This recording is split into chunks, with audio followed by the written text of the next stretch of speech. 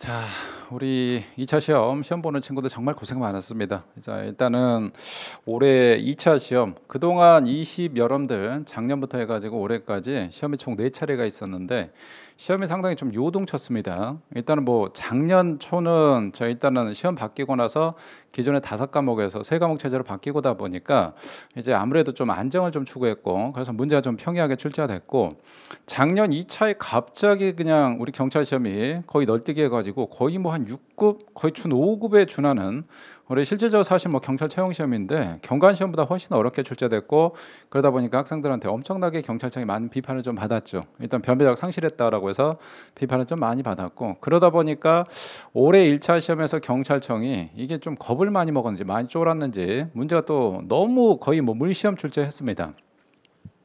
작년에는 뭐 불시험으로 출제하더니 올해 자 2차 1차 시험에서는 거의 물시험 해가지고 각 청마다 뭐 서울 같은 경우는 여경 같은 경우는 90점대 중반 뭐 커트라인이 거의 뭐 이렇게 형성되다 보니까 문제를 아무리 내가 실력 있다 하더라도 자 실수로 하나 틀렸다. 그럼 뭐 그냥 여러분들 쭉 해가지고 고배를 마시고 좀 그런 문제점이 너무 많아가지고 했었는데 올해 이제 2차 시험은 아, 그 동안에 작년 그다음에 올해까지 최근 몇 차례 시험에서 경찰청이 좀 많이 갈팡질팡 어떤 방향을 못 잡고 있었는데 올해 2차 시험은 그래도 많이 좀 안정화됐다라고 보시면 될 것 같습니다. 그래서 일단 뭐 전체적인 세 과목에 총평한다 그러면 일단 뭐 난이도는 한 중에서 조금 어려운다 한 중중상 뭐 요 정도 제가 보면 될 것 같고 자 일단은 뭐 경찰학에서 상당히 좀 많이 어려워가지고 학생들이 좀 요 부분에서 좀 미스가 많이 났던 것 같고 문제가 이제 점수가 좀 깎였고 그 다음에 헌법쌤 여쭤보니까 헌법도 아, 올해 1차보다는 좀 어려웠다. 한 두 문제 정도 좀 어려웠다. 그런 말씀 좀 하십니다. 그래서 일단은 우리 40문제 차지하는 경찰학 그 다음에 20문제 차지하는 헌법이 조금 어려웠고 그러니까 경찰학이 이번 시험에 키가 된 역할을 했었고 그 다음에 형사법은 그냥 뭐 한 중 굳이 뭐 난이도 디테일하게 좀 따진다 그러면 중하 정도 문제가 조금 평이하게 좀 출제가 됐던 것 같습니다. 전반적으로 우리 세 과목에서 일단은 비중이 높은 형사법하고 경찰학 이게 둘 다 어렵게 출제가 된다 그러면 상당히 이게 거의 뭐 불시험 가까이 되는 거고 그 다음에 이 두 과목 중에서 하나는 좀 어렵게 출제가 되고 하나는 좀 평이하게 출제하고 보통 이제 이렇게 출제하는 게 맞고 그다음에 여기다 이제 헌법을 좀 어렵게 출제했다 그럼 난이도가 좀 올라가는 거고 헌법이 이게 좀 쉽게 나왔다 그러면 전체적으로 한 60포인트가 문제가 쉽고 그다음에 한 과목 40포인트 여기가 어려우니까 문제는 좀 학생들이 느끼기는 좀 수월하게 좀 가는 경향이 있습니다. 그래서 일단은 올해 우리 시험과 관련해서 형사법과 관련해서는 일단은 문제 참 바람직하게 잘 출제가 됐다. 자 그다음에 난이도 봤을 땐 난이도는 한 중하 정도 좀 평이하게 출제가 됐다. 이렇게 뭐 평가할 수가 있을 것 같습니다. 자 구체적으로 우리 문제를 좀 보면 우리 형사법에서 여러분들 자 일단은 40문제가 도입되고 나서 처음 나온 게 이제 사례형이 있죠 혼합형 사례 이런 것들이 나왔는데 일단은 뭐 사례 문제는 두 문제가 출제가 됐습니다. 통상적으로 우리 사례와 관련해서 한 플러스 마이너스 두 개 정도 준비하십시오라고 했죠. 그래서 사례 문제가 한 세 개 이상 좀 출제된다 그러면 학생들이 느끼는 체감 난이도 좀 올라가고 그 다음에 올해 1차 같이 문제가 하나 정도 됐다 그러면 아무래도 이제 사례 문제가 하는 역할이 학생들은 시간을 좀 delay 시키는 좀 시간을 지연시키는 그런 역할을 많이 잡는 역할을 하기 때문에 문제가 한 세 문제가 됐다 그러면 보통 문제 푸는데 5분에서 한 6분 정도 뭐 길게는 7분 정도까지 가기 때문에 학생들 체감 난이도 좀 올라가는데 올해 2차 시험에서는 사례 문제 두 개가 출제됐습니다. 일단 위전착의 학설 문제가 하나 출제됐고 그다음 맨 마지막에 40번 혼합형 형법하고 형사법 일단 짬뽕한 고 형태가 출제가 됐는데 일단 뭐 전반적으로 두 개 사례 마찬가지 무난하게 그냥 평이하게 출제됐습니다. 그 다음에 우리 형법에서 우리 종본 파트에서 판례가 사례 문제로 나왔는데 사실 그거는 뭐 사례 문제를 할 수는 없습니다. 그건 단순히 그냥 판례 문제로 보기 때문에 올해 2차 시험에서 사례 문제는 두 문제 정도 그냥 무난하게 출제가 됐다. 일단 이렇게 보시면 될 것 같고 자그 다음에 뭐 전반적인 비율을 봤을 때는 형법 총론, 형법 강론 그 다음에 자 경찰 형사법에서 수사 증거 해서 전반적으로 비중을 다 유지했어. 형법 총론, 형법 강론 35% 35%, 그다음 수사 증거 여섯 문제 여섯 문제 이렇게 해서 전반적으로 좀 균형을 유지했다라고 보시면 될 것 같고 그 다음에 자 이번 시험의 좀 특징은 이번 시험 일단 최신 판례하고 최신 규칙 많이 출제됐죠. 자 늘상 말씀드립니다, 여러분들. 우리 형사법에서 일단 나오는 거 기본 베이스로 까는 거는 일단 우리 형법 같은 경우 판례가 비중이 상당히 높죠. 그래서 일단 판례를 메인으로 깔고 여기다 이제 최신 판례 혹은 최신 기출 그 다음에 자 요거와 관련해서 조문 또는 학설 이런 것들이 키포인트가 된다. 그래서 요것들을 얼마나 많이 비중 있게 출제하냐 여기에 이제 플러스 사례까지 들어가는 거고 이것들이 뭐 학설 같은 경우 학생들이 어려운 학설을 많이 출제한다거나 사례 문제가 많이 출제된다.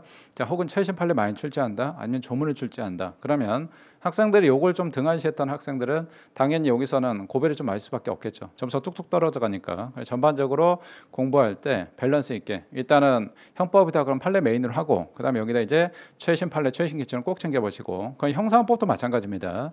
자 그다음에 여기다 우리 형법이다 그러면 조문 학설 그다음에 여기 이제 형사법까지 합해서 사례형 문제 종합적으로 좀 여러분들 균형 있게 밸런스 있게 자 요거 챙겨 보십시오라고 좀 편식 절대 하지 마시고 시험이 어떻게 나오든 여러분들 절대 균형 밸런스를 맞추는 게 진짜 중요합니다. 그래야 시험이 이렇게 출제가 되든 저렇게 출제가 되든 여러분 점수가 요동치거나 흔들리지가 않습니다. 일단은 요 특징이 있었고 그 다음에 뭐 학생들이 좀 어려워하는 박스형 있는데 박스형 문제는 그렇게 많이 출제가 되지 않았습니다. 그러니까 박스형 문제가 전체 한 40문제 중에서 한 25포인트가 넘어간다. 즉 한 10개가 넘어간다. 그러면 이제 그때부터 이제 좀 난이도 올라갑니다. 근데 이제 여기서 한 13개, 14개, 15개 나온다.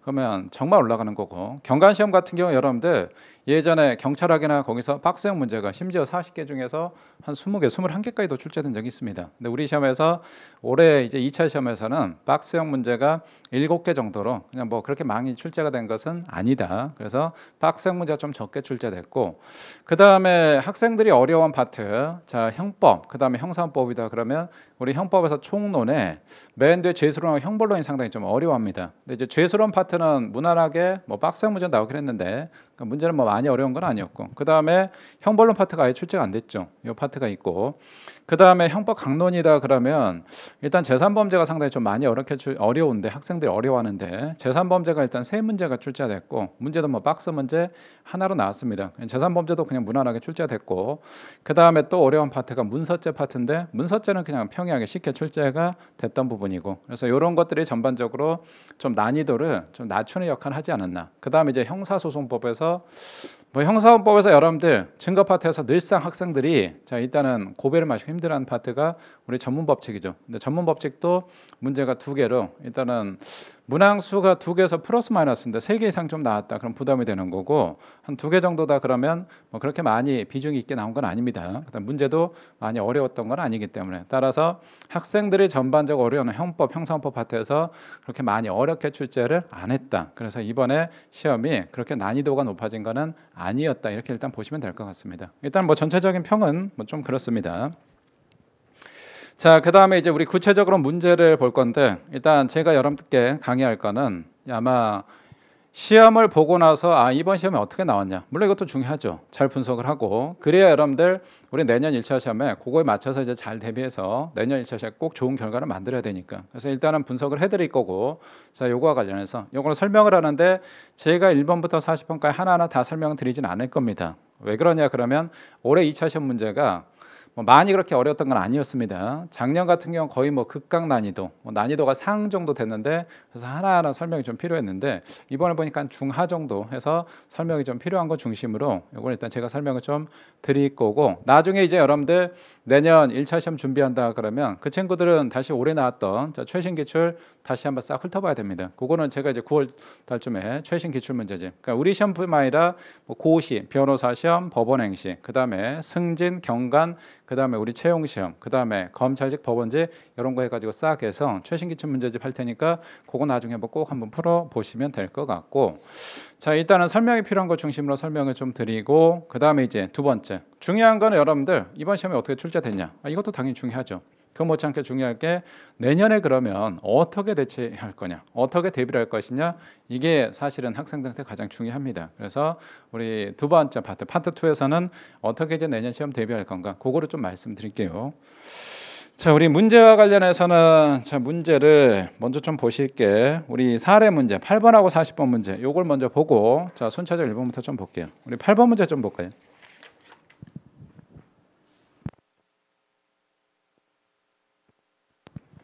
자, 8번 문제가 선생님들마다 또 학생들마다 호불호가 조금 갈리는데 아, 이 문제 좀 어려웠다 그런 학생들도 있고 그런 또 선생님들도 있고 아, 이 문제 뭐 그렇게 선생님 어려운 거 아니었습니다라고 하는 학생들 친구들도 있는데 일단은 뭐 제가 봤을 때 그다음에 저하고 같이 학설 강을 같이 공부했던 친구들이라면 이 문제는 난이도는 여러분 한 중하 정도 이렇게 보셔야 됩니다. 원래 이제 위전 착단이 워낙 어려우니까 여길 갖다 하를 주기는 좀 그렇지만 일단은 저랑 같이 학설 공부를 했던 친구들은 이 문제가 절대 어 렵거나 그런 문제가 아닙니다. 이 위전착은 워낙 중요한 거고 그다음 제가 이번에 위전착 몇 개 출제학생 높은 것들 꼭 집어 드렸죠. 그 중에 하나가 출제가 되는데 자 우리 위전착 즉 오상방이다 그러면 우리 패턴 있었죠. 유형 세 가지 우리 첫 번째 패턴이 있었고 두 번째 패턴 세 번째 패턴 있는데 그 중에 어떤 패턴이냐 두 번째 패턴에 해당하죠. 자 우리 P2라고 해서 패턴 2 자 위전착과 관련해서 패턴 2다 그러면 아 위전착 기본적으로 오상방이다. 아 행위자한테 일단 과실이 있는 사례였죠. 그게 패턴 1하고 패턴 2였고 패턴 3는 과실이 없는 사건이고 자 과실이 있는데 과시범 처벌 규정이 있다. 그게 이제 패턴 1 살인이나 상해 같은 게 있었고 그 다음에 패턴 2 과시범 처벌 규정이 없다. 대표적인 게 우리 폭행이나 명예훼손, 자 주거침입 있었죠. 요거는 이제 패턴 2에 해당합니다. 자 패턴 2다 그러면 학설 다섯 개 학설 중에서 우리 고의범으로 빼는 엄격 책임서, 자 얘만 고의범 빼고 나머지는 과실로 가는데 자 요거 과실범 처벌 규정이 없기 때문에 얘는 싹 무죄로 간다라고 했죠. 자 그러면 요 지문,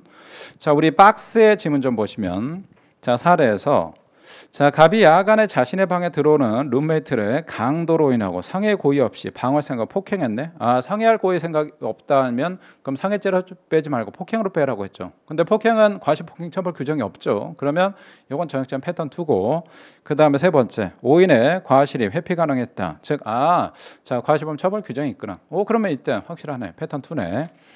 자 밑에 이제 가나 다라가 나는데 가번 자 불법을 자 범죄를 불법과 체범의 두 단계로 나누고 이법성 조약서의 소극적 구성 요건 요소로 나눈다. 아 이거는 뭐 여러분도 소극적 구성 요건 표지 이론이네. 소극적 구성요건 표지 이론. 자 그 다음에 자 나번 자 위법성 인식을 고의의 요소가 아닌 독자적인 책임 요소로 파악하는 이론서 금지착오로 본다. 법률의 착오다. 아 얘는 엄격 책임설이죠. 우리 엄격 책임설 얘는 자 무조건 고의범 뺀다라고 했죠. 자 고의범. 그 다음에 만약 당해 과실이 없다 그럼 무죄로 빼는 거고.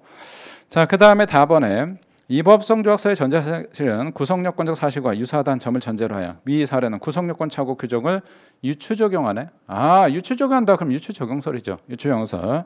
그 다음에 라번에 고의의 이중적지를 전제로 하여 자 이중적지 요 학설이 조금 어려운데 이중적지이다. 그 다음에 위 사례는 구성요건적 고의는 인정되나 책임 고의가 탈락되어 결국 구성요건 착오와 법역과적으로 동일하다. 그럼 요건 법역과 제한적 책임설이죠. 법역과 제한 책임설. 자 그러면 P2고 그 다음에 각각의 우리 가번, 나번, 답을 하번 어떤 학생들 일단 잡아낸다. 그럼 그거에 대해서 뭐 결론 잡아낸 건 어렵지 않죠. 일단은 엄격 책임설이다. 그럼 얘는 폭행죄가 되고 나머지는 다 과실 폭행인데 과시범 처벌 규정이 없으니까 무죄가 된다. 이렇게 잡아내시면 이 문제는 저랑 같이 했던 친구들이다 그러면 사실 뭐 요 난이도 하 정도 뭐 하 조금 이 단원이 어려우니까 그냥 중하 정도 일단 이렇게 보시면 됩니다. 자, 그 다음에 우리 맨 뒤에 40번 혼합형 문제 좀 볼까요? 혼합형 사례 문제. 자, 혼합형 사례 문제. 아무래도 학생들 입장에 사례 문제가 좀 분석하는데 시간도 좀 필요하고, 그다음에 형법하고 형사법 두 개 이제 지식이 필요하다 보니까 부담을 좀 느끼는데 우리 40번 보십시오. 자, 40번 일단은 뭐 박스형 문제가 아니었고 짐도 그렇게 많이 긴 건 아니었습니다. 우리 40번에 자, 연구실 함께 운영하는 갑과 을은 소속 연구원들에 대한 인건비 지급 명목으로 X학교 법원에 지원한 금 지급을 신청한 지급받은 금원을 연구실 운영비로 사용한 공모였다. 이에 따라 갑은 2022년 1월부터 12월까지 매월 1회 지급 신청하고 해당 금액을 지급받는 동일한 방식으로 총 10회에 걸쳐 연구원 인건비 명목으로 학교 법원부터 합계 1억 원 상당의 송금을 받았다. 자 일단은 얘네들이 이렇게 했고 그 다음에 자 다만 을은 2022년 8월 퇴직한 이후에 연구실 운영에는 관여하지 않았다. 자 일단 중간에 여러분들 이탈했습니다. 우리 여러분들 공동전 범이다 그러면 실행에 착수 같이 하고 그 중간에 이탈했다. 그래도 전체 범죄에 대한 책임을 지죠. 전체 범죄. 자 이후 갑과 을, 갑과 을에 대한 재판에서 검사 연구실에 A에 대한 참고인 진술 조서를 자 증거로 제출하였으나 공판기일의 증인으로 출석한 A는 갑과의 관계 우려에 조서의 진정성을 비롯한 일체 증언 거부했네. 아, 증언 거부권 행사했다라고 했을 때 우리 여러분들 정당한 사유가 있든 없든 정당한 사유가 있든 정당한 사유가 없든 자 일단 참고인이 자 일단 증언 거부권 행사했다. 우리 314조.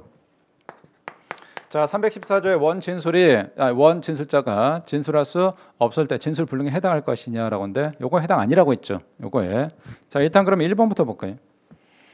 자, 갑과 을이 2012년 2022년 1월부터 12월까지 금을 지급받는 것이 사기죄에 해당하는 경우에 각 지급 행위마다 별개의 사기죄가 될 것이냐라고인데 아니죠. 전체로 하나 쭉 볼 수가 있다. 그래서 사기죄 뭐 포괄 일죄로 보는 거고 만약 이거 상습성 인정된다 그럼 당연히 이거 상습 사유가 되겠죠. 근데 이거 상습범 인정된다 그 얘기는 없었고 그 다음에 2번 자 A가 증언을 거부하면 갑의 반대 신문권 보장되지 않는 것인데 이 경우에 A의 증언 거부가 정당한 자 증언 거부권 행사에 해당하더라도 갑의 반대 신문권 보장되지 않는다는 점에서 아무런 차이가 없다. 자 일단은 증언 거부권 행사하는데 어떤 정당한 사유가 있었냐 정당 사유가 없었냐 이런 거 따지지 않죠. 자 일단 증거 거부를 했다라고 하면 우리 314조에 자 해당하지 않는다라고 했고 그 다음에 이건 반대 신문권이 인정이 안 됐죠. 우리 반대 신문권 됐다 했다 중요하다라고 했죠. 왜? 반대 신문권이다 그러면 자 일단은 여기에 나오는 증언은 증인은 기본적으로 누구냐? 검사가 여러분들 부른 증인일 거고 당연히 검사한테 유리한 쪽으로 진술할 수밖에 없죠. 그럼 이거 시정 과장, 왜곡 이런 것도 반대로 신정 이자 시정할 수 있는 기회가 반대 신문권이라고 했고 반대 신문권 헌법상의 공정한 재판을 받을 권리라고 했습니다. 자, 그 다음에 3번 을은 퇴직 후에 갑이 금으로 송금받은 부분에 대해서 사기죄 죄책을 부담하지 않는다. 아니다. 중간에 이탈했다 하더라도 전체 책임진다라고 했죠. 자, 그 다음에 4번에 자 만약 A가 법정에서 증언을 거부하지 않고 조서에 대해 기재한 바와 같이 내가 말한 것이 맞는데 자 일단은 조작된 게 아니네. 일단 진정 성립했죠. 맞는데. 자 그건 일부러 거짓말 한 것이라고 진술했다. 자백은 아니다. 예, 자 요거 내용 인정한 것은 아니었습니다. 그럼 이 경우에 자 진정 성립이 될 것이냐? 진정 성립은 내용 인정 자백을 하는 게 아니라고 했죠. 조작된 거냐 아니냐? 요걸 판단한 것이다. 따라서 X가 된다. 자 40번 문제도 그 우리 2차 시험에 나왔던 40문제 중에서 뭐 어려운 문제 몇 개 뽑아라 그러면 그 중에 하나가 40번 문제인데 그렇다고 뭐 요게 뭐 여러분들 거의 뭐 고득점 방정 문제라고 하긴 좀 그렇습니다. 일단 쉬운 문제는 아닌데 일단은 요 문제도 많이 어려운 문제는 객관적으로 절대적 기준으로 봤을 때는 많이 어려운 문제는 아니다. 일단 이렇게 보시고 자 그다음에 이제 우리 1번부터 좀 볼까요? 자, 1번에 이제 우리 재형법정주의, 재형법정주의가 뭐 거의 단골로 거의 나온다라고 생각하시면 되는데 우리 정답이 1번어 처리가 됐는데 사실 요게 뭐 거의 잘 안 다루는 헌법상의 요 판례를 출제를 했는데 자, 일단은 문제 보면 1번, 2번, 3번, 4번에서 2번하고 3번, 4번은 충분히 소호가 되죠. 자, 소호가 되고 1번은 소호법을 해서 답하는데도 지장이 없고 그다음에 하나 더 우리 여러분들 현재 법 규정에 그게 있다 그러면 문제가 없는 거죠. 예를 들어서 우리 공연 음란죄에서 음란성 이게 명확하냐? 어, 현재 법 규정이 있거든. 자, 그 다음에 우리 내란 선동죄 선동 개념 이게 명확하지 않냐? 현재 있단 말이야. 그럼 문제가 없죠. 우리 부당이득죄도 마찬가지, 기본 강의 때도 마찬가지고, 우리 기출심학 강의 때도 제가 판례 거기서 관련 판례 몇 개 좀 설명해드렸죠. 자, 이 땅에 우리 알바께 했을 때 한 50배, 45배 폭리취했다. 그럼 이거 부당이득죄냐? 아니라고 했죠. 법조문까지 제가 직접 자, 요거 밑줄 그어놓으면서 자. 부당히 현저하게 부당한 이득을 취득했을 때 그래서 최소한 세 자릿수 돼야 된다. 한 100배 정도 폭리취했을 때 그때 우리 부당이득죄 된다라고 해서 법조문까지 체크를 해드렸죠. 그럼 현재 명문에 규정이 있다는 얘기네. 규정이 있다? 아 그럼 문제가 없구나. 이렇게 일단 잡아내시면 되고. 자 그 다음에 이번에 우리 시간적 적용 범위. 아 이거는 뭐 판례 우리 작년에 요거 나오고 나서 작년 12월 달에 자, 그 다음에 올해 1차에 안 나왔죠. 안 나오고 올해 2차 요건 꼭 나온다. 여러분들. 그 다음 우리 객관식 기출총정리에 문제 완전히 그냥 제가 수록했잖아. 근데 그대로 나왔던 부분이고 이런 거 틀리시면 안 됩니다. 그래서 3번에 우리 자 1번, 2번 쭉 나왔는데 4번 요거는 뭐 구속요건 착오인데 학사로 하긴 그렇죠. 판례 중심으로 나왔기 때문에 요거는 뭐 문제 평이하고 4번, 5번 요것도 마찬가지고 자 그다음 우리 6번에 박스로 나왔는데 자, 6번 문제도 굳이 뭐 난이도 따진다 그러면 한 중하 정도? 중하? 요 정도라고 보시면 됩니다. 굳이 뭐 박스가 있어서 그랬는데 사실 뭐 중하라고 하기도 좀 그렇고 6번에 우리 기억은 당연히 뭐 수지침이니까 요거는 당연히 뭐 여러분도 쉽게 잡아낼 거고 그다음에 우리 니은 자, A 노동조합 조합원 갑 등의 관계 법령에 정하는 서면 신고 의무. 자, 요건 경과를 나왔죠, 최근에. 이 경과에 나왔고 제가 누누이 여러 차례 자 일단은 요 판례 다뤄드렸습니다. 자 서면 신고 의무에 따른 쟁행의 일시, 장소, 참가 인원 그 방법 관한 서면 신고하지 않고 쟁의를 한 경우에 세부적 형적 절차를 미준수한 것이다. 쟁행의 정당성이 부정되냐라는데 경미한하자라고 했죠. 그래서 이 판례 좀 조심하십시오라고 했고 그래서 X가 되고 자 디귿지문도 요것도 뭐 최근에 여러분들 찌끼트 강 때도 말씀드렸고 그다음에 요거 자 이 판례도 우리 객관의 기초정전 판례 나왔었고 그래서 요것도 뭐 잡아내는 거 어렵지 않을 거고 그다음 니을 니을은 자, 올해 여러분들 최신 교철에서 검찰직에서 나왔던 지문입니다. 그 객기총 제가 객기총에 자 그대로 수록을 해놨습니다. 그래서 니을 갑이 가정폭력범죄 처벌에 관한 특례법상의 임시보호 명령 위반을 피해자인 A의 주거지에 접근하여 문자 메시지 보낸 경우에 자 이에 대해서 A의 양해의 승낙이 있었다면 갑의 행위에 대해서 사회상계 입에되는 행위라고 볼 것은 아니다라고 했는데 일단 법원에서 하지 말라고 했죠. 근데 법원의 말은 무시했죠. 우리 법원의 말 무시했다? 짤없다라고 했습니다. 그래서 이것도 우리 최신 개출 다 말씀드렸고 아까도 서두에 잠깐 말씀드렸는데 일단은 여러분들 꼭 중요한 게 당연히 우리 형법이다 그럼 판례는 당연히 비중이 높으니까 판례 메뉴 잡고 그다음 여기에 우리 최신 판례 최신 교출 꼭 챙겨야 돼. 어떤 어떤 학생들 가끔 물어보면 선생님 최신 규칙 요거 뭐 꼭 중요합니까? 혹은 최신 판례 중요합니까? 꼭 챙겨봐야 됩니까? 아, 챙겨보지 않으면 이꼴란 되니까 시험이란 게 여러분들 영어가 빠지고 나서 세 과목 체제로 가다 보니까 한 문제만 내가 실수로 틀렸다. 그럼 이게 여러분들 붙냐 아니면 떨어지냐 이 선에 있는 거야. 그다음 내가 붙었을 때도 아 맨 끝머리에 문 닫고 들어갔냐 아니면 내가 한 1배수에서 한 1.2배수 안에 드냐 요렇게 됩니다. 그래서 일단 여러분들 그런 것도 절대 등한지 하지 마십시오. 자, 그다음에 우리 또 7번에 보기 4번 좀 볼까요? 7번에 보기 4번. 자, 일단 뭐 원자행이라고 하는데 자, 요것도 우리 학설 때도 말씀드렸고 원자행 관련해서 지금 나올 만한 거 다 나왔거든. 근데 계속 안 나오는 게 요지문이라고 했죠. 그래서 사례까지 설명드렸죠. 사례 뭐라고 했냐? 내가 오늘 낮에 내가 야, A 오늘 밤 죽여버리겠다. 밤 10시에 해서 자 일단은 오늘 6시에 술 떡이 되도록 먹고 나서 밤에 자 얘 칼로 찔러 죽여 버렸네. 어 보니까 얘 자 시계가 있었네. 요 가져갔다. 그럼 이 경우에 살인죄는 이거는 원장이기 때문에 살인죄 처벌하죠.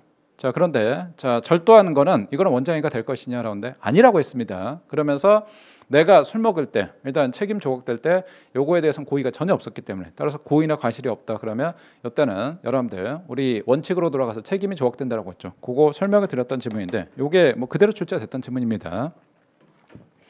그래서 혹자는 뭐 7번에 대해서 낚일 수 있다라고 하는데 이거 낚이면 안 됩니다. 이런 것들 당연히 요거 맞춰줘야 되는 거고 자, 그 다음에 8번에 요거 아까 설명드렸고 자, 그 다음에 9번, 10번, 11번 여기는 뭐 제가 따로 설명드릴 거는 없을 것 같고 이런 거 틀리면 안 돼.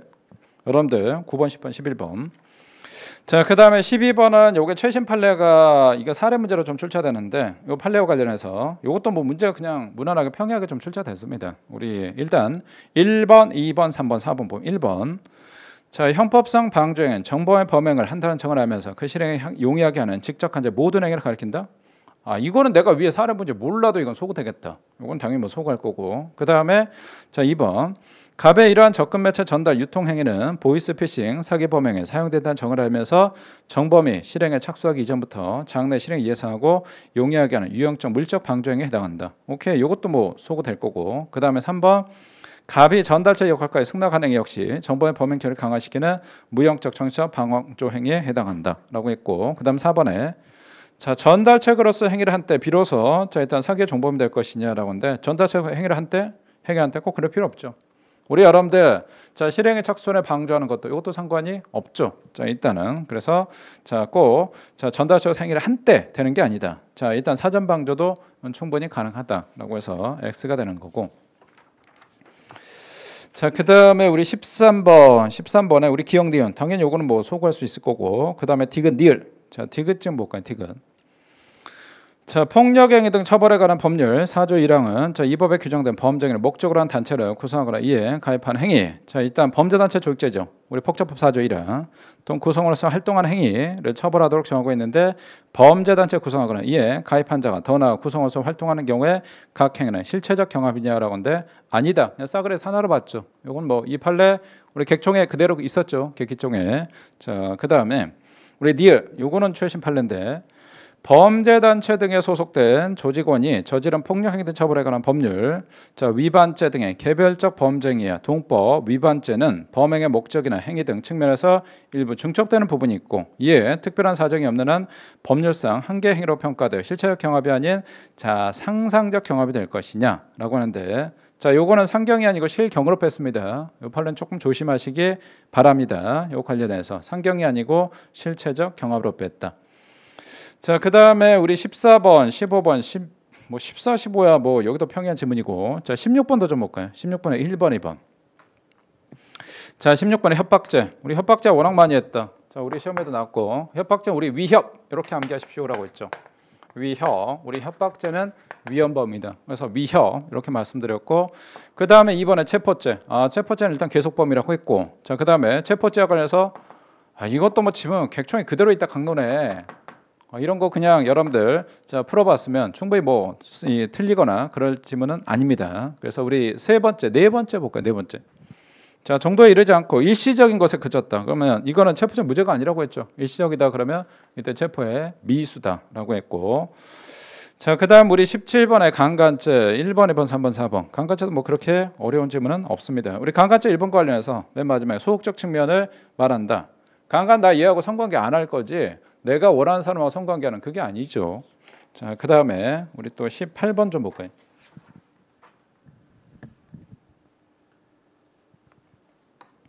자, 18번도 18번. 야, 이거 진짜 문제 딱 보면 4번 와, 오케이. 바로 정답 나오겠죠. 우리 개월걸 합성했다라고 했을 때 결론은 무죄라고 했죠. 최근에 났던 자, 중요한 최신 판례고. 자, 그다음에 3번 질문도 좀 보시면 3번. 자, 인터넷 등 공간에서 작성된 단문의 글을 하더라도 그 내용이 자신의 의견을 강조하거나 압축하여 표현한 것이라 평가할 수 있고 표현도 지나치게 모욕적이거나 악의적이지 않다. 지나치게 모욕적이거나 하지 않다. 일단 뉘앙스가 보니까 판결문에 아, 판사가 무죄로 빼겠다는 입장이죠. 무죄로. 자, 그럼 이 경우에 형법 20조에 의하여 이 법상의 조각될 수가 있다. 이것도 뭐 우리 다 다뤘던 질문이고. 자, 그다음에 우리 19번 보실까요? 19번에. 자, 1번, 2번, 3번, 4번. 어떤 선생님 보니까 19번에 아 이번 시험 19번 좀 문제가 좀 어려웠다라고 하는데 19번 19번 왜 어려워? 우리 이거 자 2번도 그렇고 3번도 객총에 다 있잖아. 그 다음에 최신 판례 작년에 제가 12월 달은 최신 판례 강의 때도 다 설명을 드렸고 요거는 원래 비밀침해죄 우리 판례가 거의 없었거든. 근데 최근에 요 비밀침해 판례가 나왔죠. 그래서 저희가 뭐라고 하냐? 워낙 중요합니다. 거의 특특특 A급이다라고 했죠. 그래서 최신 판례 공부할 때 여러분들 최신 판례는 당연히 중요하거든. 중요하긴 한데 그 판례가 이 해당 파트에 거의 잘안 나온 희소성이 높은 판례다 그러면 이 판례가 당연히 중요할 수밖에 없습니다. 우리 통화와 관련해서 통화 변조죄 있죠. 그러니까 통화 변조죄 사실 판례가 거의 없거든. 거기에 뭐가 있냐? 우리 500원짜리 사건 하나 있죠. 500원짜리 사건이다 그러면 여기는 판례가 희소성이다 보니까 그러니까 맨날 중요한 거야. 마찬가지 비밀 침해죄 파트도 시험에 판례가 거의 안 나오는데 그러니까 그쪽 파트가 판례가 거의 없는데 이게 최근에 나왔던 판례이기 때문에 그래서 워낙 중요하다고 말씀을 누차 드렸습니다. 자, 일단은 우리 자 19번에 1번, 2번, 3번, 4번에서 2번하고 3번 좀 볼까요? 자, 형법 316조 2항 소정의 전자기록 등 내용 탐지죄, 비밀 침해죄를 얘기하죠. 객체인 전자기록 등 특수매체 기록이 되기 위해서는 특정인의 의사가 있는 바 인터넷 계정 등 접속하는 과정에서 입력하는 아이디 및 비밀번호 등 자체는 자, 특정인의 의사를 표시한 것으로 보기 어려워 전자기록 등 특수매체 기록이라고 할 수가 없다라고 했는데 아니다라고 했죠. 전자기록 등 특수매체 기록에 해당하고 다만 이 사건 무죄가 되는데 이유는 아 일단은 여러분들 비밀 침해죄다 그럼 비밀이 설정되었어야 되는데 그럼 이게 뭐 비밀번호가 설정돼 있거나 이렇게 해서 비밀번호 풀어야 되는데 그게 전혀 없다 그러면 아니라고 했죠. 그래서 우리 3번에 자 헌법 316조 2항 소정의 전자기록 등 내용 탐지죄는 봉함, 기타 비밀 창치한 전자기록 등 특수매체 기록을 길조 수단 이용하여 그 내용을 알아낸 자를 처벌한 규정인 바 전자기록 등 특수매체 기록 해당하지 않더라도 자 봉함, 기타 비밀 장치가 되어 있지 않다. 아 비밀에 설정됐지 않네. 그럼 요걸 갖다가 내가 일단 내용 가져왔다. 그럼 이거 비밀 침해죄냐? 아니라고 했다니까. 관련해서 그래서 이건 비밀 침해죄가 되지가 않는다. 됐다 됐다 중요하다라고 했는데 이것도 뭐 객종에 다 있었던 부분이기 때문에 우리 19번도 여기도 뭐 굳이 난이도 따진다. 난이도. 자 일단은 저와 함께했던 친구들은 당연히 이거 하가 돼야 되겠죠. 아 왜? 아 객종이 그대로 나와 있잖아. 자 그다음 우리 20번.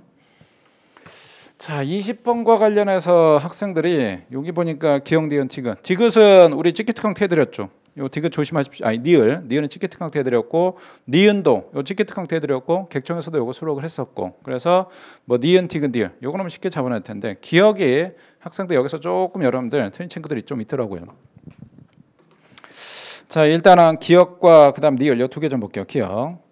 자 회사 직원의 퇴사한 후에 특별한 사정이 없는 더 이상 업무상 배임죄 타인 사무 처리한 자의 지위에 있다고 볼 수가 없고 우리 배임죄가 되려면 타인 사무 처리자가 돼야 되는데 회사에 퇴사했다. 즉 제가 회사 중요 기밀을 가지고 가져왔다. USB 같은데 그럼 일단 배임죄가 되죠.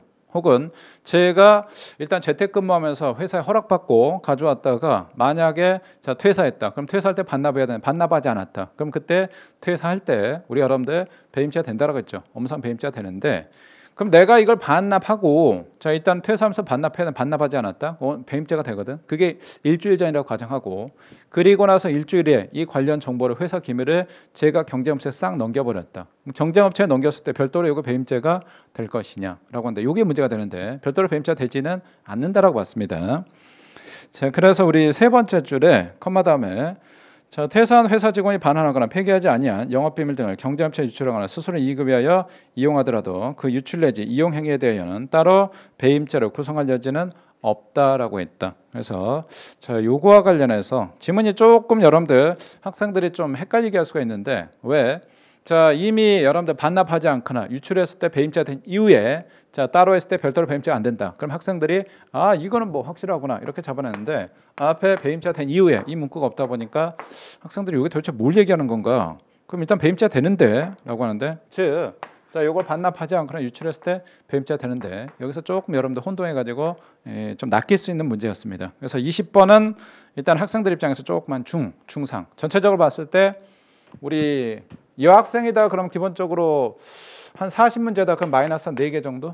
점수로 한 사람한테 한 90점 정도. 요 정도 일단 나오셔야 되고. 자 그다음 남학생이다 그러면 여기서 마이너스 한두 개 정도 좀 더해서 한 두 개 정도. 그래서 마이너스 한 여섯 개 정도. 그럼 85점 정도죠. 85점 정도 있을 때 자 요거. 자 20번 문제를 맞췄다 그러면 여학생은 90점 이상 고득점으로 갈 수가 있는 거고. 자 그다음 여기서 좀 틀렸다 그러면 여기서 이제 다른 거 커버 접었다 그러면 90점 이상 가는 거고. 그렇지 못했다. 그럼 요게 이제 참 요게 발목 잡을 20번 요 문제입니다.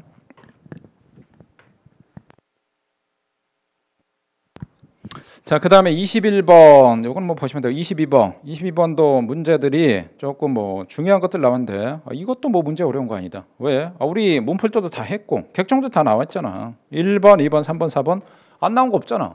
4번 같은 경우는 최근에 승진 시험 나왔고 그 다음에 우리 컴사기다 그럼 이득 얼마냐? 자, 제가 카드 주면서 2만 원 빼오세요라고 했는데 5만 원 빼왔다. 그러면 초과 인출은 3만 원에 대해서 컴사기가 된다라고 했죠. 요거 다 했던 부분이고.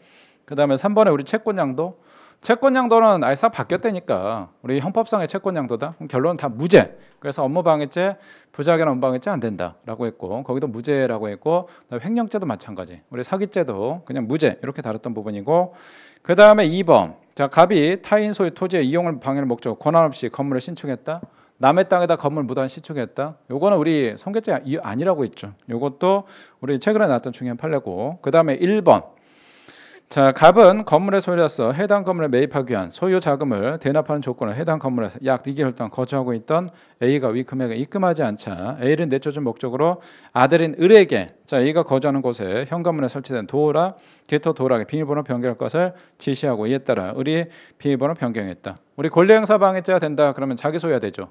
근데 아들내미는 직거 아니니까 아들내미가 권리행사 방해죄 안 됐네. 그러면 아빠는 당연히 권리행사 방해죄 교사가 되지가 않겠죠. 이것도 우리 그대로 많이 했던 부분이고.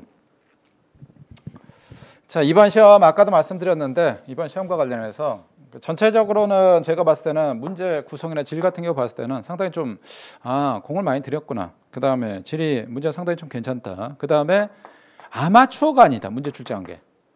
아, 작년 2차는 문제는 일단 문제는 나쁘지 않아. 나쁘지 않은데 아, 기본적으로 우리 시험이 다른 시험하고 좀 다른 게 있잖아. 수능 시험 같은 경우 여러분도 국어 시험 보고 쉬는 시간 주고 그 다음에 수학 보고 쉬는 시간 주고 그 다음에 영어 보고 쉬는 시간 주는데 그 다음에 변호사 시험이나 뭐 사법 시험 그 다음에 법원 행시도 마찬가지 1교시 보고 쉬는 시간 2교시 보고 쉬는 시간 3교시 보고 쉬는 시간 다 주거든. 주는데 아 우리 시험은 그런 게 없잖아. 우리 시험 여러분들 그냥 스트레이트로 100문제 쫙 풀어야 된단 말이야. 그럼 이걸 갖다가 뭐 지문이 됐다 됐다 이렇게 길게 해버린다 그러면 도저히 100분에 풀 수가 없는 문제인데 작년에 그게 이제 좀 많이 문제가 됐는데 올해는 또 그런 것도 없었습니다. 그래서 일단은 분량 자체도 100분에 풀 수 있도록 적절하게 밸런스 맞춘 것 같고 제가 봤을 때는 그 다음에 우리 형사법 관련해서는 아무래도 경찰학이 좀 난이도를 상당히 올리다 보니까 이 상대적으로 형사법을 우리 난이도 조금 여러분들 내려가지고 중간에 전체적인 밸런스를 좀 유지했던 자, 일단은 그런 시험이었습니다. 자, 그 다음에 우리 23번, 23번 뭐 문서제인데 문서제 그냥 평이한 문제입니다. 그 다음에 우리 24번, 자 25번 나오는데 24번 여기도 뭐 보시면 되고 25번도 자 일단은 박스로 네 물자인데 네 물자 뭐 무난하게 나왔고 26번 우리 공무집행 방해 여기도 뭐 어려운 거 없습니다. 자 그다음 27번 좀 볼까요? 자 27번에 우리 기억 자 위증죄는 법률의 선산 증인이 사실에 관하여 기억에 반한 진술한 때 성립하고 증인이 진술에 자 증인의 진술이 경험한 사실에 대한 범죄 평가에 관한 단순한 의견을 지나지 않은 경우에는 위증죄만 허위의 공소를 할 수 없으나 경험한 객관적 사실에 대한 증인 나름의 법률적 주관적 평가나 의견을 부여하는 부분에 다소 오류가 있다. 아 이거는 많이 했지. 우리 다소 어쩌고 저쩌고 한다. 우리 모욕죄에서 다소 무리하다. 무리하지 않다라고 했죠. 우리 명예훼손죄나 우리 무고죄 다소 과장이다. 과장 아니라고 했죠. 여기도 마찬가지 다소 오류가 있다. 모순이 있다. 아, 모순 없다니까. 위증죄냐? 아, 위증이 아니다.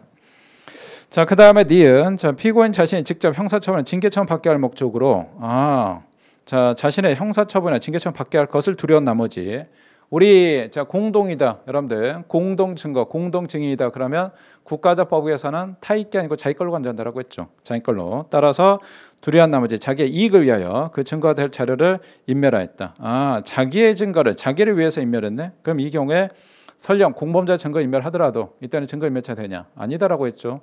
자 공동의 증인 공동의 자 범인 자 그다음에 공동의 증거 자기 거다. 자 이것도 마찬가지 자, 피고인 자신을 위해 증인을 도피하게 하니까 동시에 다른 공범자의 형사 사건의 징계 사건에 관한 증인을 도피하게 한 결과가 되었다. 증인 도피자 되냐? 우리 니은하고 똑같습니다. 그 다음에 니을 미음. 요거는 뭐 어려운 거 없었다. 자, 그 다음에 28번 여기서부터 이제 형사 소송법인데 형사원법. 자, 일단은 형사원법. 형사원법이다 그러면 기존에 여러분들 수화준칙이 거의 단골로 나왔었죠. 수화준칙이 일단은 워낙 뭐 중요한데 수화준칙이 아시다시피 지금 법무부에서 수화준칙을 좀 많이 뜯어 고치려고 하고 있습니다. 그래서 일단은 입법 예고까지 한 상태고 11월 달에 자 일단은 요거를 시행하는 것을 목표로 하고 있습니다. 그래서 수사준칙은 아마 이제 내년에 시험 준비할 친구들 관련해서 수화준칙은 법 개정된 내용까지 제가 반영해서 9월 달에 개권 기출총정리가 출간이 될 겁니다. 그래서 수화준칙은 여러분들 조문을 산발적으로 보는 것보다 우리 형법에서 조문 책 봤잖아. 그러니까 조문을 싹 같이 보는 게 훨씬 편하고 학설도 마찬가지 같이 보는 게 훨씬 편했죠. 수화준칙도 마찬가지 제가 수화준칙 1조부터 해가지고 쫙 해가지고 개정까지 개정사항까지 반영해서 다시 한번 요 강의를 제가 가을에 진행할 겁니다. 그래서 수화준칙은 그걸로 일단 싹 쳐내시면 되고 자, 일단은 우리 28번 수학에 관한 설명 중 우리 1번, 2번, 3번, 4번. 먼저 4번 볼까요? 4번. 자, 검사의 수학 개신 예외적으로 인정되는데 검사는 부패 방지, 경제 범죄 등 대통령이 정하는 거. 이 검찰청법인데 사실 뭐 거의 다르진 않은데 사실 뭐 요거 몰라도 정답권에서 전혀 지장은 없었고. 자, 그다음에 1번 볼까요? 자, 사법경찰관 고소고발 사건을 포함해 범죄 수한 때 범죄 혐의가 있다고 인정한 때 지체 없이 관계사를 증거말해 삼계 첨부해 검사가 사건 송치해야 되냐? 아니죠. 우리 문재인 정부 때 자, 검경 수사권 조정해서 경찰도 일단은 수사 종결권, 독자적인 수사 종결권 할 수가 있습니다. 그래서 사안에 봐서 아 이거는 뭐 송치할 사건이 아니다 그러면 일단은 여러분들 송치 불송치할 수가 있죠. X가 됩니다.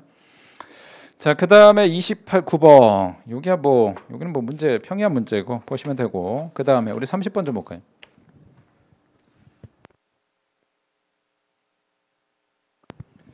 자, 우리 30번에 우리 기억 니은 디귿 니을 30번에 기억 좀 보겠어요. 기억. 자, 경찰관들이 성폭력 범죄 혐의에 대한 체포영장 근거로 체포 자체 착수했으나 피의자가 흥분하여 타고 있던 승용차 출발시켜 경찰관들에게 상해를 입히는 범죄를 추가로 저지르자 경찰관들이 그 승용차를 멈춘 후 저항하는 피의자 별도 범죄는 특수공무의 방해치상죄 현행범으로 체포했네. 자 일단 영장 집행하려고 했더니 얘가 자 일단 못된 짓 했네. 그래서 얘를 갖다 현행범으로 체포했다. 그럼 집행 완료에 이르지 못한 성폭력 범죄 처, 예, 범죄 체포 영장을 사후에 그 피의자에게 제시해야 될 것이냐라고 하는데 자 이미 여러분들 지금 뭘로 체포하는 거냐 현행범 체포하는 거죠. 그러면 요거 통상 체포는 의미가 없어지죠. 통상 체포. 그래서 이 경우에 별도로 영장 제시할 필요는 없다라고 봤습니다. 요거 이제 최근에 나왔던 판례고. 자, 그다음에 니은 디그 니을. 요게 뭐 잡아내는 거 어렵지 않고. 우리 31번에 우리 수화상 증거 보전하고 증인 신문. 자, 요것도 있는데 요것도 뭐 그냥 문제 요거 평이하죠. 굳이 문제 따진다 그럼 한 중하 정도 이렇게 보시면 될 것 같고. 자, 요것도 관련해서 뭐 어떤 선생님들이 이 문제가 좀 어렵다라고 해서 뽑으신 부분인데 아, 이게 왜 어려워? 이거 어려운 거 없잖아. 여러분들 일단은 우리 요걸 한번 설명드렸는데 우리 수사의 성격하고 재판의 성격들이 있다. 그럼 요거 좀 기억하십시오라고 했죠. 그래서 우리 수사의 성격, 재판의 성격 늘상 말씀드리는 게 자, 어떤 제도 자체가 일단은 첫 번째 우리 수사의 성격이 있고 그다음에 재판, 공판의 성격이 있다. 그러면 몇 가지 싹 말씀드렸죠. 우리 첫 번째 수사의 성격한다. 재판의 성격이다. 우리 재판의 성격이다. 그럼 원칙상 불복 절차 두, 불복 절차를 둔다라고 했죠. 그래서 현재 우리 삼심제도 있고 수사의 성격이다. 그러면 수사는 당연히 여러 불복 절차를 두지 않는다라고 했죠. 그래서 뭐 체포, 구속영장 발부됐다. 자, 요거 대 불복자 두지 않고 영장 기각됐다. 불복자 두지 않고 구속기간 연장이 됐다. 어, 이런 거 안 된다니까. 그래서 원칙상은 재판의 성격은 불복이 있고 수사의 성격은 없고 그 다음에 우리 재판의 성격이다. 그럼 재판은 공판이라고 하죠. 그래서 우리 공개 원칙이라고 했고 수사는 비공개 원칙이라고 했죠. 그래서 공개하면 인권 침해 상당히 좀 심하다라고 했고 그러니까 그 다음에 세 번째다 그러면 우리 수사의 성격이다라고 했을 때 수사와 관련해서 일사부재료 원칙이 자 요건 적용이 안 되는데 재판은 일사부재료 원칙이 적용되죠. 재판 한번 끝났다 확정 판결 받았다 그러면 다시 들쑤실 수가 없죠. 요게 있었고 자 세 번째 우리 네 번째와 관련해서 자 우리 재판이다 그러면 공소시효가 정지가 되고 수사는 공소시효가 정지가 되지 않는다. 그래서 일단 싹 요거를 정리를 했던 부분입니다. 자 그러면 우리 자 일단 수사상 증거 보정 그 다음에 참고인에 대한 증인 신문이다. 참고인에 대한 증인 신문은 이거는 뭐에 대한 보완책이냐? 여러분들 참고인 조사에 대한 보완책이죠. 참고인 조사에 대한 보완책이다. 피의자 신문에 대한 보완책이 일단 통상체포고 참고인 신문에 대한 보완책이 우리 참고인에 대한 증인 신문인데 그럼 요거는 뭐냐? 이건 당연히 우리 수사의 성격이죠. 그럼 수사의 성격은 일단은 비공개 원칙이고 그 다음에 참고에 대한 증인 신문은 검사가 신청하는 거죠. 즉 검사를 위한 하나 히든 카드다. 그럼 이거는 자 검사한테 일단 관련 내용을 보내는 거지. 이걸 갖다가 여러분들 법원이 보관하는 건 아닙니다. 우리 31번 볼까요? 자, 31번에 우리 자, 2번하고 4번 좀 보면 2번. 자, 형사헌법 221조에 2. 자, 증인 신문 청구하려면 증인의 진술로서 증명할 대상인 피의 사실 존재해야 되는데 피의 사실은 수학의 내심의 혐의로 자, 존재한다고 할 수 없다. 아, 내심. 우리 내사 단계. 지금은 이제 이건적 조사로 바뀌었죠. 아, 요거는 맨날 말했잖아, 얘기를. 우리 기본적인 형사소송법은 자, 여러분들 일단은 수사가 있고 아, 수사가 이건이죠. 자 어떤 사건에 대해서 입건이 있다. 그럼 입건했으면 수사가 되고 그 다음에 기소했다. 그럼 공판이 되는데 형사법은 어디서부터 규정돼 있냐? 형사소송법은 기본적으로 여러분들 자 일단은 수사하고 공판 여기만 규정돼 있다니까. 자 이전 단계 입건 전 조사 예전에 내사라고 했죠. 내사 단계는 우리 형사법 규정 안 돼 있어. 그다음에 형사법에 규정된 거는 딱 두 개 검사하고 판사. 요게 이제 규정돼 있고 그럼 경찰은 형사법에 원칙상 규정돼 있냐? 안 돼 있다니까. 일단은 형사법 체계는 걔네들은 뭐라고 생겼냐? 아, 형사법의 일단은 주인공은 검사고 판사다. 경찰은 없다. 그래서 경찰은 여러분들 데 규정되어 있는 게 아니고 자, 일단은 뭐 경찰관 직무집행법이나 경찰법 여기에 규정되어 있는 거죠. 여기에. 그 다음에 형사소송법은 우리 여러분들 용의자 요 단계는 규정이 되어 있지가 않다. 그래서 맨날 나오는 게 그거잖아. 아, 용의자 단계에서는 여러분들 자 일단은 피의자나 피고인의 규정을 준용한다. 형사법 명문에 규정돼 있다. 그러면 X가 된다라고 했고 그걸 머릿속에 꼭 박아두라고 했죠. 자, 그 다음에 우리 4번 보시면 4번. 자, 31번에 형사헌법 221조 2 증인신문에 관한 서류는 증인신문한 법원이 보관하므로 자 공소제기 이전이라도 피해자 또는 변호인은 판사의 허가를 얻어 서류와 증거물에 대해 열람 또는 등사를 할 수가 있냐라는데 아니래니까 요거는 검사를 위한 제도고 자 일단 참고인 조사에 대한 보완책이니까 요 검사한테 보내는 거고 비공개 원칙이라고 했습니다. 자 이렇게 잡아내시면 되고 그 다음 우리 32번은 뭐 그대로 쭉 보시면 되고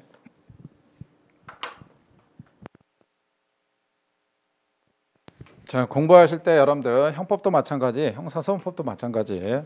형법은 상당히 최근에 논리적 허물이하고 있죠. 왜 이런 결론이 나오냐? 자 일단 형법 공부할 때 우리 3단 논법이라고 했죠. 일단 첫 번째 팩트 체크 사실관계 확인하시고. 자 그 다음에 요게 유죄냐 무죄냐? 아 유무죄. 자 일단은 체크하고. 그 다음에 중요한 게 왜 이런 제도가 나오냐? 요거라고 했죠. 요게 이제 우리 판결 요지, 판결 이유라고 했습니다. 자 헌법이다 그러면 결정 이유가 되는 거고 그 다음에 형사헌법 공부할 때도 형사헌법이다. 어떤 제도가 있거든. 그럼 이 제도가 어떤 성격이고 왜 이런 제도가 됐냐? 그 제도의 취지를 이해하시라고 했죠. 그럼 이해하시면 아 요거는 요렇게 되고 요거는 요렇게 되구나. 이렇게 여러분들 이해가 되고 그럼 기억이 오래 가. 무작정 여러분들 형사헌법을 그냥 암기한다? 머리 깨져 버린다니까. 형사법, 형사법도 상당히 체계적이고 논리적 흐름 그 절차를 가지고 있습니다. 자, 그다음 우리 33번에 우리 지금 보시면 자, 33번에 기용, 대연, 디귿, 니을, 미음 쭉 나왔는데 일단 지문 자체가 일단 맞네. 일단은 통상적으로 박스다 그러면 니을까지인데 여기는 이제 미음까지 나와 있는데 그렇다고 뭐 많이 어려운 건 아닙니다. 기존에 뭐 계속 다뤘던 최신 판례나 요 판례들이고 우리 기억 보시면 자, 수사기관이 압수수색 영장에 적힌 수색할 장소에 있는 컴퓨터 등 정보 처리 장치에 저장된 전자정보 외에 원격지 클라우드에 저장된 전자정보를 압수수색하기 위해서는 압수수색 영장에 적힌 압수할 물건에 별도로 원격지 클라우드 저장 전자정보가 특정돼야 된다. 반드시 특정돼야 되죠. 그렇지 않으면 이거 함부로 압수수색할 수가 없는 거고. 그다음 니은 자, 수사기관이 전자정보에 대한 압수수색이 종료되기 전에 혐의 사실과 관련된 전자정보를 적법하게 탐색하는 과정에서 별도 범죄 혐의와 관련된 전자정보 우연히 발견했다. 우연히 아, 영장 전용하면 안 된다니까. 우연히 발견했다. 그럼 스탑. 일단 스탑. 스탑하고 자 별도로 영장 받아야 된다라고 했죠. 네 번째 줄에 대법원은 우연한 육안 발견 원칙에 의하여 별도의 영장 없이 우연히 발견한 별도 범죄 혐의와 관련된 전자정보 압수수색할 수 있다고 판시했다. 그런 적 없는데 X가 된다. 일단 스탑. 자, 그 다음에 디귿. 수사기관이 피의자의 이메일 계정에 대한 접근 권한을 가름하여 자, 발부받은 압수수색 영장에 따라 자, 이메일 계정에 대한 접근을 발하여 역장에 따라 원격제 전자 매장, 저장 매체에 적법하게 접속하여 내려받거나 현출된 자, 전자정보를 대상으로 하여 범죄 혐의 사실과 관련된 부분에 대한 압수수색하는 것은 자, 특별한 사정은 허용되지만 자, 원격지 저장 매체가 국에 있다. 우리 구글에 지메일이 있었죠. 구글의 지메일 이거 해당 사항 없냐? 아니라니까. 우리 네이버의 여러분들 자 네이버 메일이다. 상관없다. 구글의 지메일이다. 똑같다라고 했습니다. X가 되는 거고. 자, 그다음 우리 미음 지문 하나 볼까? 미음. 자, 피의자가 휴대전화 임의 제출하면서 휴대전화에 저장된 전자정보 아닌 클라우드 등 제3자 관리하는 원격지에 저장되어 있는 전자정보를 수사기관에 제출한다는 의사로 수사기관에 클라우드 등에 접속하기 위한 아이디와 비밀번호 임의 제출받았다. 자 아이디와 비밀번호 제공받았다 그러면 거기에 있는 여러분들 자 일단 클라우드에 뭐 N드라이브에 있는 거 자료 자 일단 가져가라 허용한 거죠. 따라서 위 클라우드 등에 저장된 전자정보 임의 제출한 것으로 볼 수가 있다라고 했다. 이것도 뭐 기존에 우리 최신 판례 티켓트 강태 다 했던 지문입니다. 자, 그다음에 우리 34번. 자, 일단 거증 책임, 입증 책임. 우리 엄격한 증명, 자유로운 증명. 아, 요것도 뭐 우리 엄격한 증명, 자유로운 증명. 원칙은 엄격한 증명. 그다음에 우리 예외적으로 자연 증명인데 우리 엄격한 증명은 일단은 불리한 것들 유무죄와 관련된 것들 있죠. 대표적인 게 우리 형법적인 사실은 엄격한 증명이라고 했고 그다음 우리 자유로운 증명은 그런 것들이 아니고 자 일단 형사 소송 어떤 절차와 관련된 것들 그다음에 예를 들어서 또 판사를 위한 거 그다음에 피고한테 유리한 것들은 우리 자유로운 증명이다라고 해서 우리 두 문자 따드렸죠. 우리 몰탕 몰탕 고양이 임신하면 재구속해라고 해서 이런 것들은 우리 자유로운 증명이고 여기다 플러스 몰탕 고양이 임신하면 자 요게 있었고 그 다음에 우리 형사법적 자 우리 형사법적 우리 절차적 부분이다 그러면 이때 자료 증명이고 그 다음 에 형법적 부분이다 그러면 엄격한 증명. 그러니까 우리 형법적 증명이다. 명예훼손죄에서 우리 공연성. 당연히 이건 엄격한 증명이죠 그 다음에 사실 적 시도 우리 엄격한 측면이고 명예훼손죄에서 공연성에서 우리 판례가 취하는 거는 여러분들 전파 가능성이죠. 전파 가능성. 그럼 전파 가능성도 이것도 엄격한 증명이 자른 증명이야. 당연히 명예훼손죄 구속 요건에 해당하잖아. 이런 경우는 엄격한 증명이 되겠죠. 자, 그럼 우리 4번 좀 보겠습니다. 자, 공연성은 명예훼손죄 구성 요건에서 특정 소수에 대한 사실적시의 경우에 공연성이 부정된 유력한 사정이 될 수 있으므로 전파될 가능성에 대해서 검사에게 증명의 책임이 있으면 원칙이나 전파될 가능성은 특정되지 않은 기관과 공간에서 아직 구체화되지 않은 사실이므로 그 증명의 정도는 자른 증명이 되냐라고인데 전파 가능성 아니라니까 요거는 우리 형법의 구성 요건 해당하는 거니까 유무죄와 관련된 거니까 엄격한 증명이다. 뭐 문제 잡으니까 어렵지가 않습니다. 자, 그다음에 우리 35번, 35번에 우리 1번, 2번, 3번, 4번. 35번도 문제 쭉 풀어 보시면 되고 36번에 우리 2번도 잠깐 볼까요? 36번도 문제 그냥 평이한 문제입니다. 자, 자백은 일단 자백하게 했다가 이를 번복 내지 취소했더라도 그 효력이 없어지는 것이 아니기에 피고의 항소이소에 돈이 급해 지혜서는 아니 될 죄를 지었다. 진심으로 뉘우치고 있다. 일단 항소이소 이렇게 했네. 근데 우리 본안 가니까 뭐라고 했냐? 우리 밑에 세 번째 줄에 이어진 검사의 자, 자 우리 네 번째 밑에 네 번째 보겠습니다. 항소심 공판에서 항소에서 진술하였다면 이어진 검사 신문에 범죄 사실 부인하였고 수사 단계에서 일관되게 범죄 사실 부인했다. 그럼 이거 자백이냐? 아 이거 이거 설명했잖아 우리 기초심화 강의 때. 여러분들 항소 이유서 항소한다 그러면 그때 석고대 이제 바짝 엎드려 산다라고 했죠. 이렇게 해서 해서 해 주십시오. 저 죄가 안 됩니다. 혹은 형량 낮춰 주십시오. 이렇게 하지. 그 다음에 본안 가서 어떻게 하냐? 어, 본안 가서는 본격적으로 오리발 내밀고 싸운다니까. 왜? 아 여기서 밀리면 본인 검사 말 인정한다는 얘기잖아. 그래서 이런 경우에 아, 자 중요한 거 여러분 항소 이유서가 중요한 게 아니야. 본안이 중요한 거지. 본안 가서 싸웠냐? 인정했냐? 인정했다 그럼 자백이 되지. 근데 인정하고 오리발 내밀었다? 부인했다? 그럼 이거 자백 아니라니까. 항소 이소 가지고 싸우는 게 아니고 요거 판단한 게 아니고. 자, 그다음에 우리 37번. 우리 전문 증거. 아, 전문 증거와 관련해서 요거 말씀드렸죠. 자, 전문이다 그러면 전애들은 소문이라고 했거든. 우리 전문.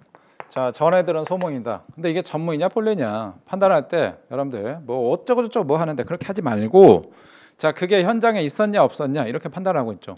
아, 목격자 이거는 쉽게 잡아내지. 목격자. 예를 들어서 자, 갑이란 놈이 A를 성폭행했네. 강간했다.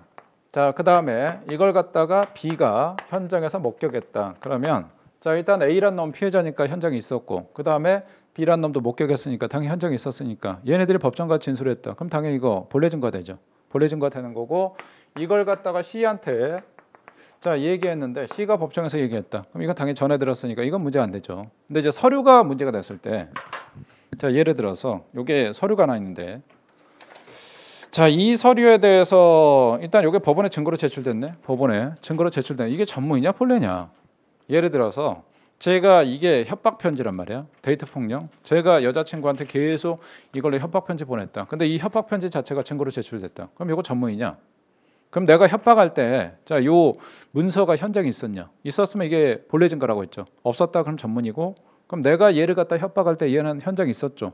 그럼 당연히 이건 전문이 아니고 본래 증거가 되겠네. 자, 그 다음에 이 협박 편지에 뭐가 있었냐? 너 죽여버리겠다. 네가 어떻게 나한테 그럴 수 있어? 내가 네 뒷바라지 다 했는데 네가 어떻게 기동화를 거꾸로 신어? 이렇게 해서 협박 편 내용이 있었단 말이야. 그 다음에 또 하나. 내가 사람 못 죽일 줄 알아? 1년 전에도 전 여친 내가 죽여가지고 토막 내서 묻어놨다. 근데 저의 전 여친에 대한 살해 사건에 대해서 이게 증거로 제출됐을 때 그럼 1년 전에 내가 전 여친을 살해했다. 그 내용이 있었다. 그럼 이게 전문이냐 본래냐? 이때는 요 편지는 현장에 없었죠. 1년 전 살해 사건에 대해서. 그럼 이거는 아 전문이구나. 이렇게 잡아내시면 되죠. 그다음 우리 자 피의자 신문 조서. 자 예를 들어서 제가 범죄 저질러 놓고 뭐 6개월 전에 저질러 줬고 그냥 경찰서 가서 오늘 조사 받았다. 그럼 피의자 신문 조서 작성하죠. 그럼 이 피의자 신문 조서는 현장에 없었죠. 네, 6개월 전에 범죄할 때. 그럼 이거는 당연히 어, 전문이 되겠네. 참고인 진술조서도 마찬가지. 아까 얘가 얘를 갖다 성폭행했는데 얘가 경찰서에 가서 참고인 진술 조서를 작성했네. 그럼 얘는 현장에 없었잖아. 그럼 이런 경우에 아, 요거 자 전문이 되겠구나. 이렇게 잡으십시오라고 했죠. 그래서 문서와 관련해서 막 어려운데 그렇게 하지 마시고 요게 현장에 있었냐, 현장에 없었냐. 현장에 있었다 그러면 이거는 본래 증거. 현장에 없었다 그러면 전문 증거. 이렇게 일단 잡아내시면 좀 수월합니다. 자, 그 다음에 우리 2번, 3번 나는데 우리 4번 잠깐 볼까요? 4번하고 1번 좀 보겠습니다. 4번. 자, A가 피해자들을 흉기로 살해하면서 이것은 신의 명령을 집행하는 것이다 라고 말하는데 이 말을 들은 B가 법정에서 A의 정상태 증명하기 위해 그 내용을 증언하는 것이었다. 그러니까 얘가 이게 정상이냐 아니면 미친놈이냐.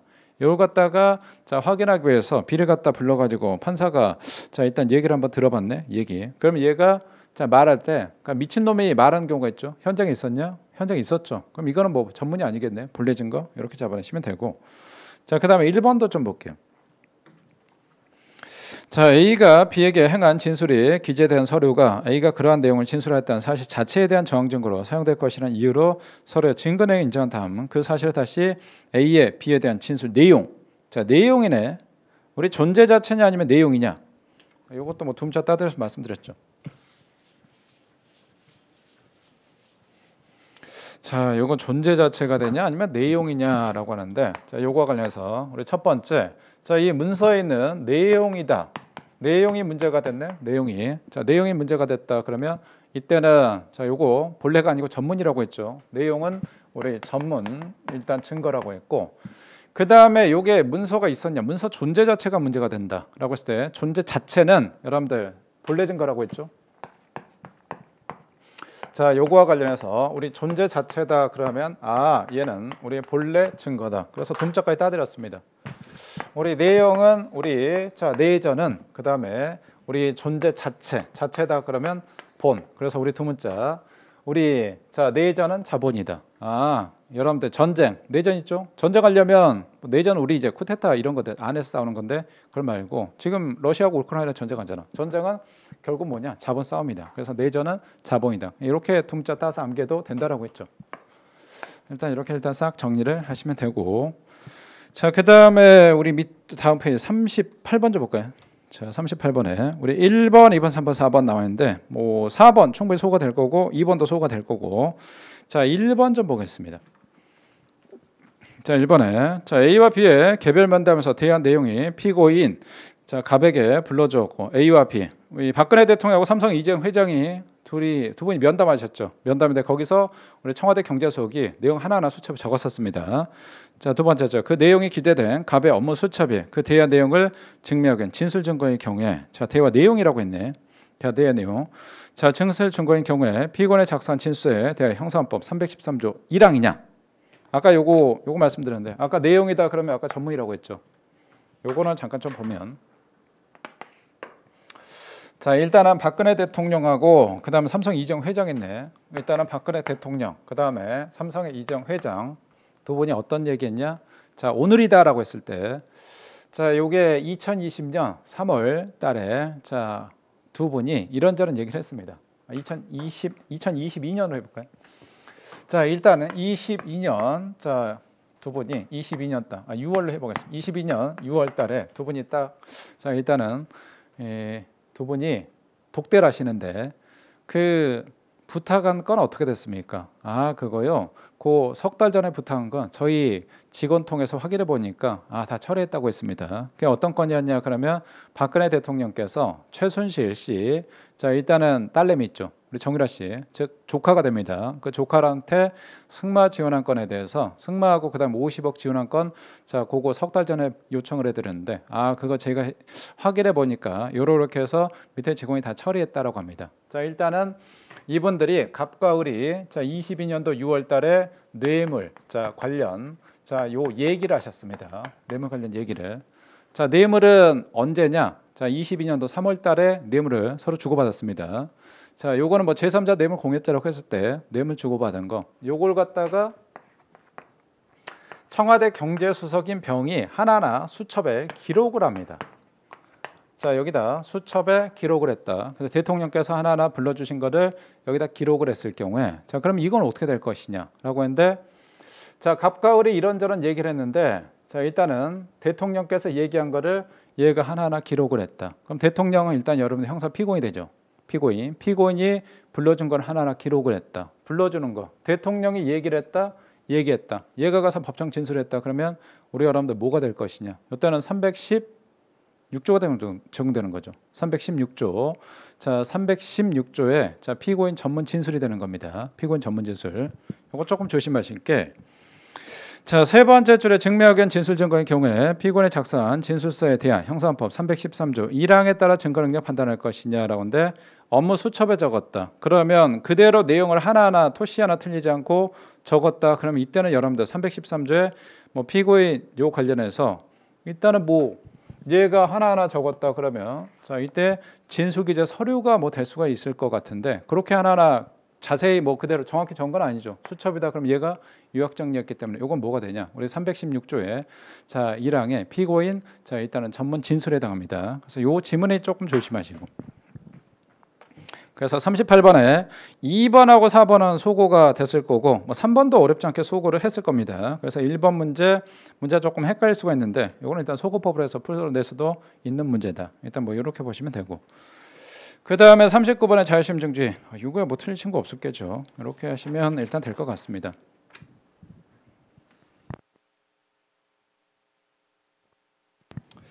자 그래서 일단 뭐 여경이다 그러면 여러분들 한 틀리는 개수가 한세개네개 예, 전체 이제 40문제에서 점수로 한 사람에 한 90점에서 92.5 이렇게 될 거고 남경이다 그러면 한 다섯 개 전후 좀 많이 틀렸다 그러면 여섯 개 한 85점 그 다음에 조금 더 맞췄다 그러면 87.5 요 정도 하면 뭐 무난하게 괜찮을 것 같습니다. 일단 이렇게 하시면 되고.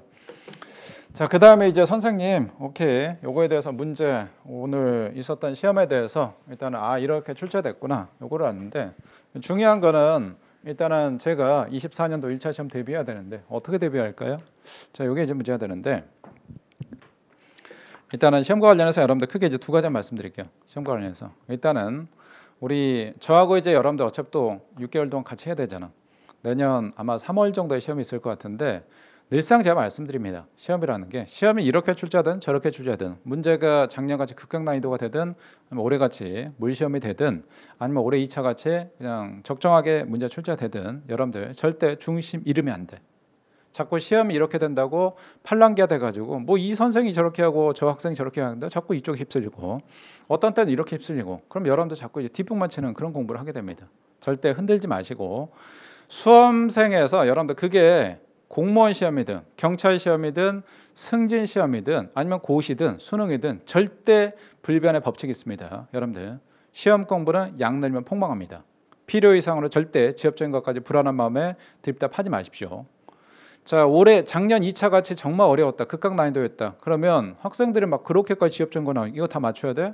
어, 굳이 그렇게 할 필요가 없잖아 작년 여러분들 100문제에서 커트라인 60점대 후반이었잖아 그러면 내가 30개를 틀린다 하더라도 충분히 합격한다는 얘기거든 자 그 다음에 올해 1차 같이 문제가 상당히 좀 쉽게 출제가 되는데 그렇다 하더라도 여러분들 너무 자만하거나 그렇지 마시고 그래서 필요한 것만 중심으로 하시면 되는데 그럼 선생님 필요한 게 어느 정도까지가 됩니까? 일단 우리 형법이다 그러면 형법은 그냥 아, 바이블이라고 있잖아. 우리 형법 개관 기초 총정리. 그 다음에 조문학설제. 요게 이제 세트고. 자 아까도 봤지만 거기서 거의 다 나왔어. 그 다음에 여기 이제 나머지 추가할 게 최신 판례. 그거는 이제 제가 여러분들 시험 한두 달 전에 다 최신 판례까지 다 해드립니다. 그럼 찍기 특강까지 다 해드리니까 일단 고고. 그 다음에 형사원법이다 그러면 형사원법이 9월달에 여러분들 자 일단은 형사원법 개관 기초 총정리 출간이 됩니다. 수사 증거해 가지고 그래서 요거 그 형법의 객관의 기초 총정리, 형사법의 객관의 기초 총정리, 그 다음에 형법의 조문 학설책. 요거만 내 확실하게 마스터하겠다라고 생각하시면 돼. 근데 이게 마스터하기가 쉽지가 않다 보니까 거기에 이제 여러분들 뭐 진도별 모의고사 같은 거 좀 추가해가지고 트레이닝 좀 하고 그 다음에 실전 훈련 해야 되니까 동영 모의고사로 해가지고 그렇게 실전 훈련 많이 합니다. 그렇게 하면 여러분들 제가 보기에는 뭐 시험이 어떻게 출제되더라도 여러분들 절대 점수 흔들리지 않고 형사법은 내가 안정적으로 나오겠다. 일단 이렇게 하시면 될 것 같고 그러면 일단 여러분들 공부할 때 마무리 공부할 때도 절대 흔들리지 않고 여러분들 일단은 페이스를 유지할 수가 있습니다. 그 다음에 자 그렇게 함으로써 공부량이 필요성 넓히지 않거든. 이게 형사법이 중요한 거는 형사법 당연히 자 전략감 확실히 잡아야 되는 그 역할도 하지만 나머지 경찰학이나 헌법도 해야 되는 게 많단 말이야. 근데 형사법을 필요 이상 확 늘려버리죠. 그러면 그만큼 경찰학이나 여러분들 헌법을 공부할 시간이 다 뺏겨버린 겁니다. 그래서 일단은 형사법에서 절대 필요 이상을 늘리지 마십시오. 뒷북치지 마시고 요거 하나 일단 좀 기억하시고 자, 그 다음에 또 하나 학생들이 이게 자꾸 이제 시험의 기출 문제가 중요하다라고 해서 기출 문제 철저히 분석을 하거든. 분석을 하는데 아 이걸 분석을 하고 다음 시험 예단해 버려. 그 절대 위험합니다. 특히 제가 형사법은 확실하게 방 잡아주니까 절대 저하고 같이 하는 친구들 그러지 않겠지만 경찰하게 최근에 계속 좀 들쑥날쑥해. 자 일단 이 뭐 2020년도부터 해가지고 1차, 2차, 뭐 작년 2차 극강 난이도 했다가 올해 정말 뭐 쉽게 기출 문제 중심으로 그냥 출제했다. 올해 또 2차에서 상당히 좀 많이 더 어려웠죠. 그래서 시험이라는 거는 당연히 여러분들 기출이 바이블이지. 아 이거는 수능 시험도 마찬가지고 사법 시험이나 변호사 시험, 법원 행시 아니면 공시도 마찬가지. 이건 당연히 기출이 기본이야. 근데 학생들이 기출만 가지고 선생님 기출만 해서 다 되겠죠? 아 이것만 가지고 안 되지. 기출은 말 그대로 이미 출제된 거잖아. 여기다 플러스 알파가 있어야 된다. 플러스 알파는 뭐냐? 여러분들 이제 출제가 될 것들, 출제되는 것들이 뭐 최신 판례나 그다음에 신형의 문제들 이런 문제라고 보시면 됩니다. 그래서 공부할 때는 당연히 기출은 이렇게 하시고 그 기출이다 그러면 객관식 기출 총정리 그 다음에 우리 전문 학설 요거 하시고 그 다음에 여기다 이제 동영 모의고사 가지고 실전 훈련 트레이닝 그렇게 해 두시면 됩니다. 그러면 여러분들 아, 내년 1차 시험 선생님 제가요 공부한 기간이 얼마 안 돼서 혹은 제가 좀 자만해 가지고 올해 2차 시험에서 썩 이제 합격할 정도의 성적은 아닌데요. 아 이번 시험을 공부하면서 제가 희망을 받습니다. 혹은 제 문제점을 제가 확실하게 파악했습니다. 내년 시험은 제가 잘 준비해서 꼭 합격할 수 있을 것 같습니다. 이렇게 돼야 됩니다, 여러분들. 그래서 이두 가지만 좀 명심하시면 될 것 같습니다. 자 일단은 또 여러분들 자 해설 강의를 이렇게 하고 그 다음에 이제 내년 시험 대비로 해가지고 구체적인 컬이나 그런 것들은 카페 통해서 제가 하나하나 순차적으로 이제 자세하게 올려놓을 테니까 제 카페 이제 공지사항란 참고를 해주시기 바랍니다. 그래서 오늘 해설 강의 들으시라고 우리 고생 많았습니다. 우리 친구들 빠이빠이.